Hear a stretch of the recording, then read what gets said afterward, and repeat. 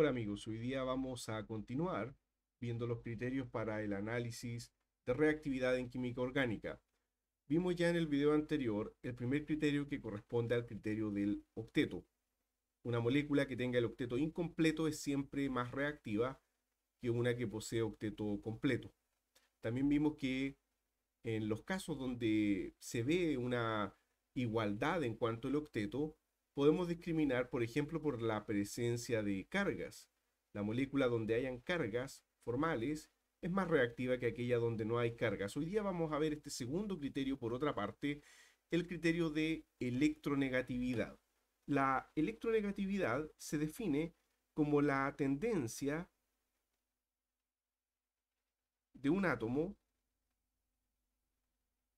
para atraer carga hacia sí. Específicamente nos referimos a atraer los electrones hacia sí. Es el núcleo, su fuerza, atrayendo los electrones.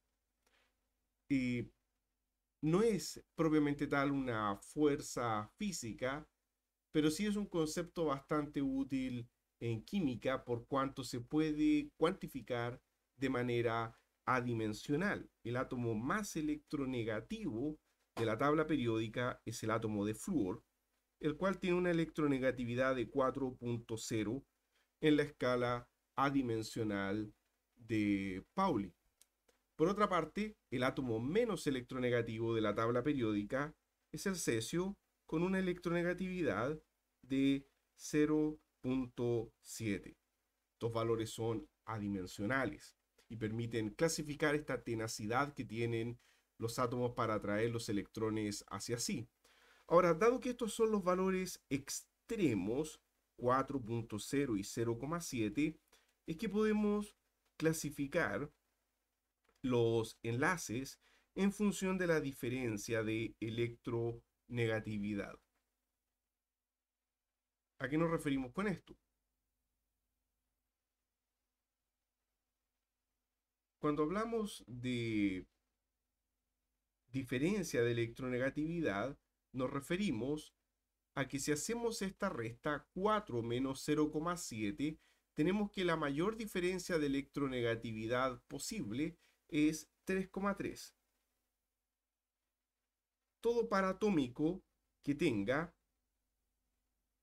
una diferencia de electronegatividad de 1,7 a 3,3 está formando un enlace iónico. 1,7 es el valor medio aproximado de 0 a 3,3. Entonces, cualquier par atómico que tenga una diferencia de electronegatividad superior a 1,7 tiene entonces un enlace iónico. Mientras que si el par atómico se encuentra de 0 a 1,7, eso es un enlace covalente. Ahora bien, ¿Cómo utilizamos entonces este criterio de electronegatividad para clasificar las especies en reactivas o poco reactivas? Consideremos el siguiente ejemplo. Vamos a trazar una serie de moléculas, como por ejemplo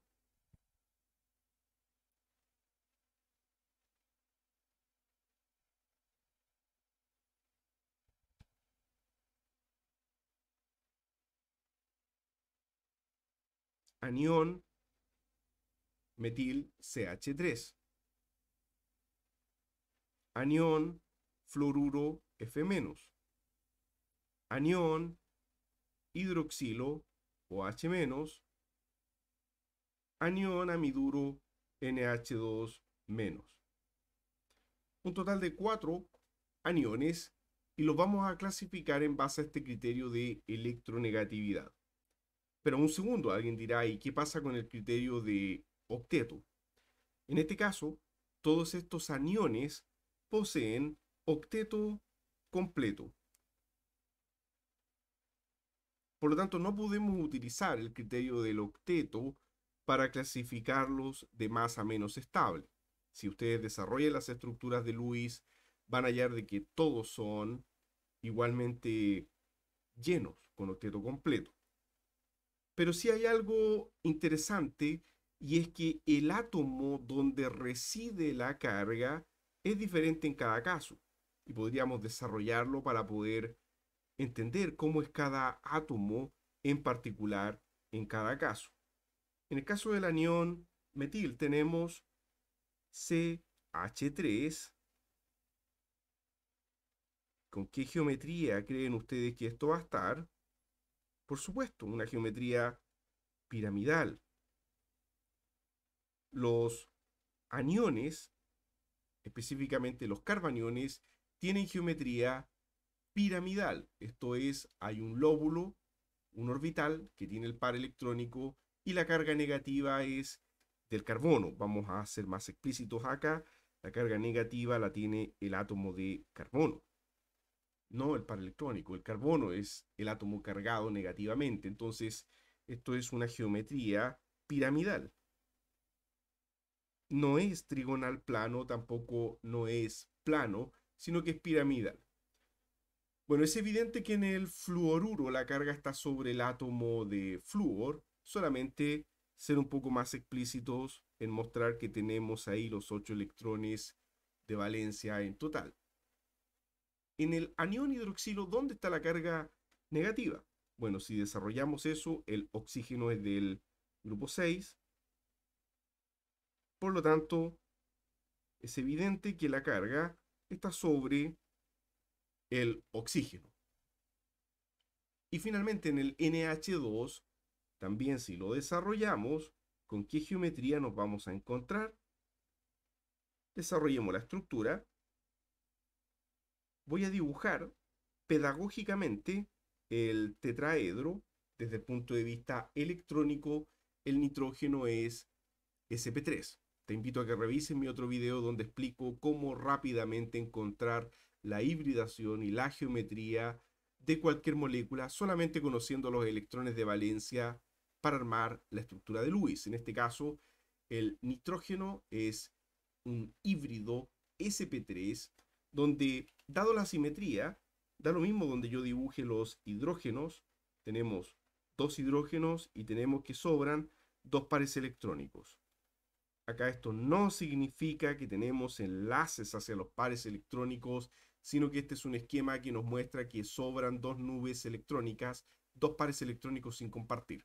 Por lo tanto, ¿ante qué geometría molecular nos encontramos en este caso en particular?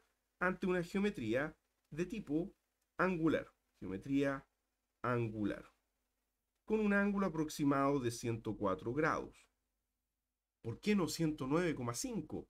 Porque el ángulo se cierra cuando sobran pares electrónicos sin compartir. Si sobrara un par electrónico, el ángulo se cierra aproximadamente a 107 grados. Si sobran dos pares electrónicos, se cierra a 3 grados más y tenemos que esto baja a 104 grados. Entonces, contra más pares electrónicos sobren, el ángulo se reduce más, dado que las nubes electrónicas ejercen una repulsión hacia los enlaces. Bien, hemos desarrollado entonces las estructuras y en este caso en particular, en el último, solo nos restaría decir que el nitrógeno es el átomo aniónico, el átomo depositario de la carga neta negativa. Bueno, para poder clasificar todo esto del más al menos estable, echemos mano de este conocimiento básico y sencillo de la electronegatividad. Y resulta que la electronegatividad del carbono, alejemos un poco esto para que no perdamos nuestra imagen problema, el carbono tiene una electronegatividad de 2.5. El nitrógeno, electronegatividad de 3.0. El oxígeno, su electronegatividad es 3.5. Y el flúor, su electronegatividad es 4.0.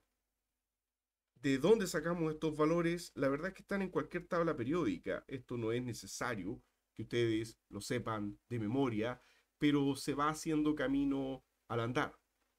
En la medida que más ejercicios desarrollen de esto, por ejemplo, cuando se estén preparando para un examen, se van a dar cuenta que estos valores van incrementándose de 0,5 en 0,5 hasta llegar a este máximo que es 4 el flúor. No hay un átomo con una electronegatividad superior a 4. Esto significa que de todos estos que están acá en un mismo periodo, tenemos que esto es el periodo 2 y tendríamos el grupo 3 de la tabla periódica, tendríamos, eh, perdón, el grupo 4 de la tabla periódica en el caso del el carbono, grupo 5 el nitrógeno, grupo 6 el oxígeno y grupo 7 el flúor. En el mismo periodo tenemos que la electronegatividad va aumentando hacia la derecha y eso significa que hacia la derecha el átomo en cuestión tiene mayor capacidad para soportar una carga negativa sobre sí. En otras palabras, el átomo que mejor soporta una carga negativa es el flúor. El flúor es excelente soportando, por así decirlo, una carga negativa cuando se compara en un mismo periodo. Insisto con esto porque vamos a ver que cuando cambiamos de periodo ya no es tan simple la situación, pero si hacemos el análisis aquí en un mismo periodo, en el periodo 2 de la tabla periódica, hacia la derecha el átomo de flúor soporta mejor una carga negativa sobre sí que el otro extremo que sería el carbono. Entonces tenemos que, tenemos hacia la derecha un, una mejor capacidad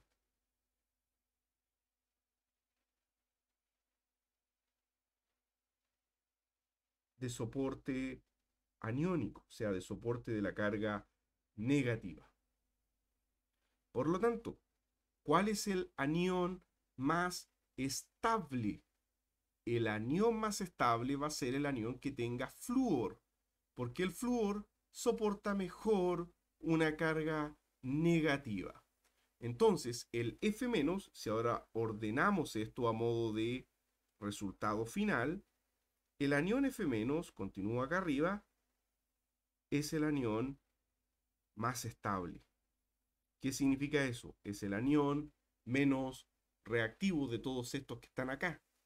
Recuerden, estas comparativas no son en el aire. Uno no dice el flúor es el anión más estable por excelencia, no, sino que es el más estable de esta serie que estamos comparando. Fluoruro, anión más estable. ¿Quién le sigue en estabilidad? O sea, ¿quién ahora es un poco más reactivo que el fluoruro? El oxígeno, porque el oxígeno es el segundo átomo después del flúor en electronegatividad. Entonces, el anión hidroxilo, el anión hidroxilo sería un poco menos estable que el flúor y por lo tanto un poco más reactivo. ¿Quién le sigue? El anión amiduro, NH2. Y finalmente el anión metil CH3 Hemos logrado así entonces clasificar estas especies, y esto aplica para cualquier molécula donde nos encontremos con una situación de este estilo, hemos logrado clasificar estos aniones en base a en base a algo tan simple como la electronegatividad. Esto permite, por ejemplo, discriminar fuerza de bases orgánicas. Podemos tener distintas bases orgánicas y podríamos decir cuál es más fuerte que otra. Por ejemplo,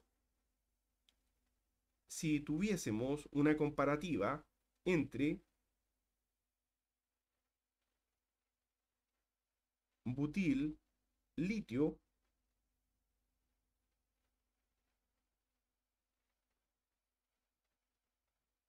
que de manera desarrollada lo podemos interpretar como una especie de este tipo. En realidad el carbono está formando un enlace metalizado hacia el litio, pero lo voy a dibujar de esta manera para que entendamos que el butil litio se puede entender como un carbono aniónico conectado a un litio catiónico. Y por otra parte, si lo comparamos con un alcóxido de igual largo de cadena, CH3, CH2,